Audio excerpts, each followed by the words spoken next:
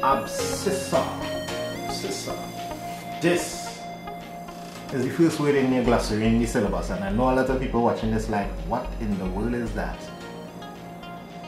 Exit this video. Alright, but no, abscissa is a very simple thing. Abscissa is just the x-coordinate in the Cartesian coordinate system. That out some kind of way. Alright, the x-coordinate, remember if you have a group of values, um, a pair of values, call this an ordered pair of values, x, y, and you could plot your graph, x, y, and you get a little point.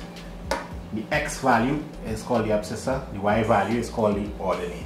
Right, so that's all the abscissa is, the, the, the x value. Abscissa comes from the word meaning where does the line stop? I think that's what it would actually mean. So where does the x value stop? And that's the abscissa. So quick example. Here we have a Cartesian plane with an x-axis, y-axis, numbers going so, numbers going so. We could find the value of that point, right? We line up our ruler, see where it's going down to the number 5, and our ruler here is going to number 3. So we just say that this, this point is 5, 3.